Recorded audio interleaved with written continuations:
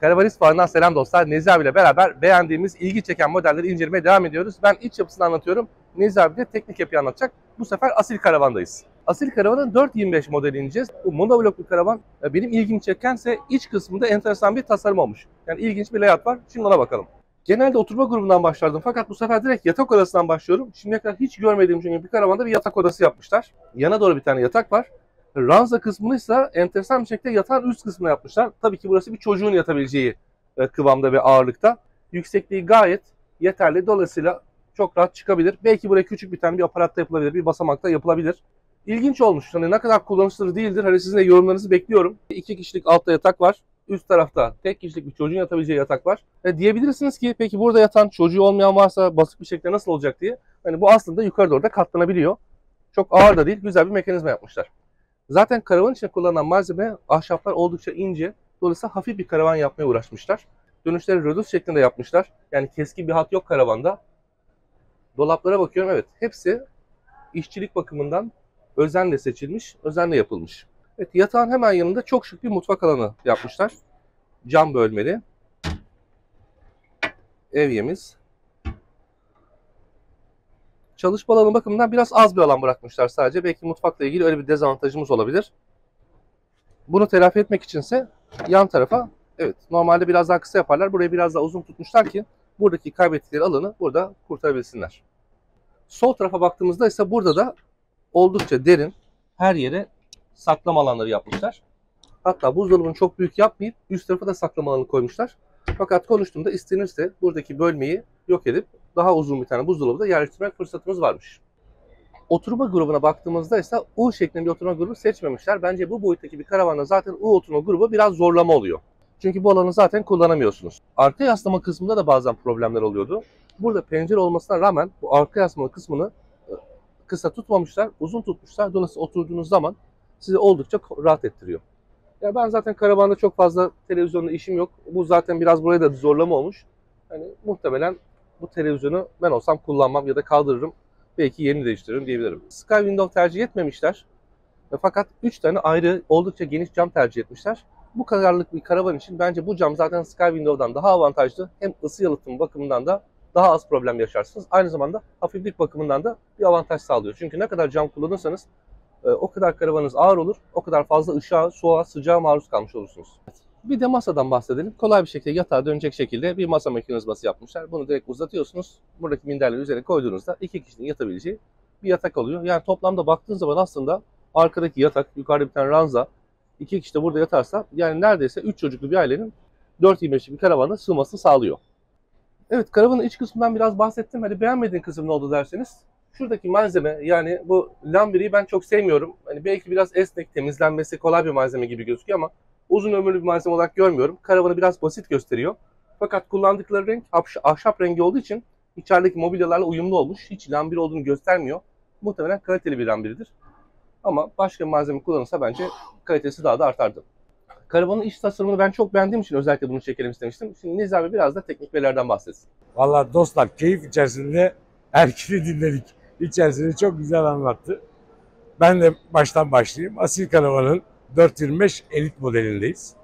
Şimdi bizim Erkin'le böyle yol videolarımız var ya arabada sohbet ediyoruz. Hani monoblok gövdede sızdırmazlık aslında olmazsa olmaz mı videonun başlığındaki aslında monobloğun olması gereken halini görüyoruz. Asil Karavan'ın aynı o videoda anlattığım gibi bidon gibi bu dökülüyor yapılıyor ve alt tarafına kadar fiber.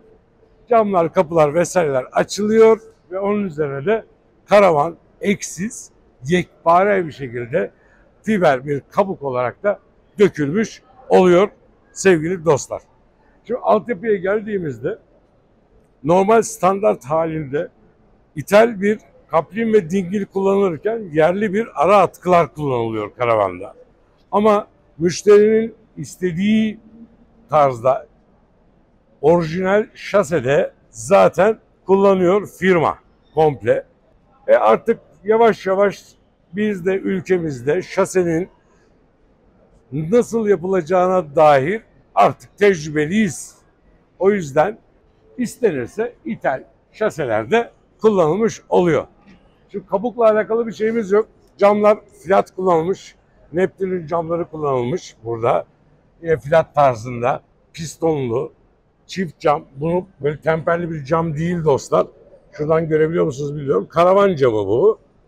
O yüzden hani Bursa yapımı yan sanayi temperli camlardan olmadığını söylemek istiyorum size. Yine bir ithal kapı karşımıza çıkıyor bizim. Hartal'ın bir kapısı. Ee, artık bunu biliyorsunuz çoğu film şeyde görüyoruz. Seyir camlı. Çok güzel bir premium aslında cepliği vesairesi olan izolasyonun içerisindeki izolasyonu göstermek için elastomerik benim kanalımı takip edenler bilirler bu izolasyonu. Ee, kendinden yapıştırmalı güzel bir izolasyondu. Ben kendi karavanımda hiçbir problem yaşamadan bu izolasyonla yaşamıştım. Storage alanları bagaj altı erkeğin de içeriden gördüğünüz koltukların altındaki erişim için storage alanları bir basamak geliyor buradan. Ee, burada yine arka yatağın altında ki storage alanına ulaşmak için bir yine bir bagaj alanı. Yandaki iz lambaları arkada kayar görüntülü e, animasyonlu stop grubu yukarıda iz lambaları, üçüncü fren lambası gibi gibi birçok detayı zaten karavanın üzerine uygulanmış. Yine görmeyi sevdiğimiz bu taraftan su dolumu ve duş çıkışları ama ekonomik seri olduğu için işte buradaki şu aparatlarla artık bunları sö- söylemeyeyim yani ne olduğunu ama burada böyle bir duş ama istendiği zaman içeride hani Erkin de dedi ya 90 litrelik bir şeyi var. Buzdolabı var ama isterseniz büyük de buzdolabı kullanıyor. Ne isterseniz ona göre güncellenebiliyor. Banyonun küçük bir havalandırma camı hemen altında kartuşun e, çıkış ağzı. İstenirse bu karavanda bu olmuyor. Por- zaten standartında portopoti ile geliyor. İstenirse kasetli tuvalet. Buzdolabının havalandırma menfezi yine burada oturma grubunda oturma grubunu ferahlatmak için 3 cephede büyük cam, tepede de 40'a 40 hekle gelmiş oluyor dostlar. Ön koltuğun altına ulaşabileceğimiz büyük bir bagaj alanı, storage alanında verilmiş. Ön tarafa geldiğimiz zaman coupling kısmını görüyoruz. Stabilizatör takılabilir, opsiyonel. Normal standart 3500 kilogramlık bir e, Alcon'un couplingini görüyoruz. Frenli bir model, zaten olmazsa olmaz fren. Pilot tekeri ama buradaki en güzel tarafı da kocaman bir tüplük görüyoruz burada. Büyük bir tüplük alanı var. Bu tüplükte dizel ısıtıcının yakıtı, tüpü vesaire şu bu ya da bizim kamp için gerekli olan hortumlu, kabloydu vesaire taşınabilecek yapıda dostlar. Yine ön tarafta yukarıda ileri seviye karavanlarda gördüğümüz iz lambaları da yukarılarda konuşlandırılmış diye görüyorum. Evet elektrik girişini burada sevmedim dostlar. Çünkü ön arabanından çıkartacağı arka tekerindeki ne kadar çamur, toz, toprak varsa buraya gelecektir. O yüzden firma yetkilileri mutlaka çok hızlı bir şekilde onu buradan alıp buraya ama buraya koymasınlar. Buraya koyunca da eleştiririm biliyorsunuz. Bu elektrik fişini öbür tarafa koysunlar. Arka tarafa görelim. Burada da her kamptan sonra burayı temizlemek zorunda kalmayalım. Çünkü zaten bir su geçirmez bir yapısı var. Belki içine almayacaktır ama işte bu küçük ince detaylar aslında teferruat gösterir. Evet, Atak 475 Elite tam bir fiyat performans karavanı. O yüzden de eee, incelemenizi ben tavsiye ediyorum. Şimdi de asil karavanın Atak modelini bize Mehmet Bey bir anlatsın. Hem de firmayı bir tanımış olalım. Mehmet Garip Asil Karavan e, firmasının sahibiyim. Manisa ili Turgut ilçesinde ikamet ediyoruz. Fabrikamızda e, orada herkesi, karavan severleri, firmamızla ilgilenen, modelimizi görmek isteyen e, müşterilerimizi bekliyoruz. Asil Karavan olarak e, iki tane modelimiz var. E, bizim başlangıç modelimiz Yolcu 375 e, ve bir de Atak 425 modelimiz var. İki modelimizden e, oluşuyor şu anki elimizdeki modellerimiz ve bu e, farklı tasarımlarla 6-7 tasarıma kadar çıkabilmekte. O da müşterinin tercihine, e, kullanım alanına göre, kişi sayısına göre değişmekte. E, Asil Karavan monoblok e, üretimi yapan bir firma. Zemin de dahil olmak üzere tek parça olarak e, fiberglass'tan ürünler çıkartmaktayız. E, içerisinde alüminyum folyolu, ateş e, yürümeyen, yanmaz malzemeler kullanıyoruz. Yanmaz marin kablolar kullanıyoruz. Sonra herhangi bir e, terlemede, e, herhangi bir suda etkilenmeyen marin kavak kontra plaklar kullanıyoruz, tercih ediyoruz. Süngerlerimiz yataş sünger. Hatta e, çift kişilik sabit yataklarımızda çift yüzden oluşuyor.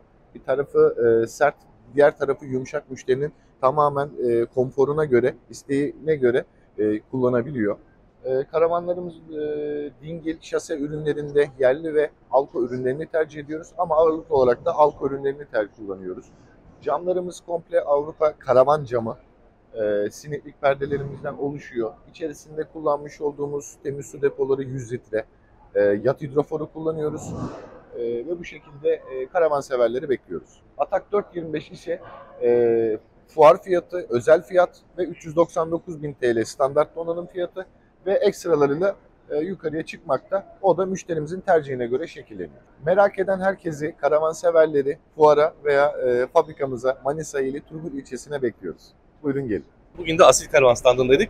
Böyle çok güzel bir iç tasarımla harika bir karavan yapmışlar. Nezi abiyle beraber inceledik. Nasıl buldun abi? Abi yani monoblok diye bir e, karavan şekli var ya işte bu. Sadece o kadar değil çünkü monoblokla alakalı bir videomuz var. Evet bu yapılmış bu. Ekli mekli değil komple. Anlattığımız, tarif ettiğimiz gibi monoblok. Çok güzel. Mutlaka iyileştirecekler. Videoyu izleyin dostlar.